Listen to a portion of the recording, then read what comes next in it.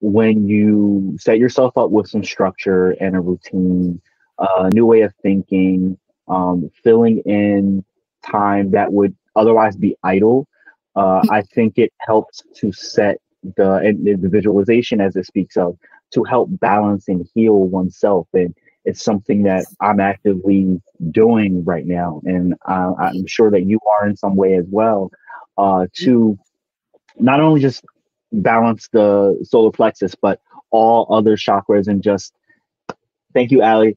Um, and hope you're well. It's good to see you.